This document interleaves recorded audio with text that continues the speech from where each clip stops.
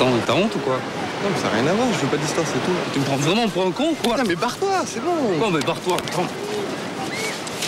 Allez putain Mathieu, tu vas m'ouvrir maintenant, je sais que t'es là Je ne ferai jamais ça. Tu me présentes pas ton ami Bonjour. Bonjour. Vous êtes bien développé. On est beaucoup trop vieille pour lui. Non, moi je vous trouve très bien conservé pour votre âge. La phrase qui tue.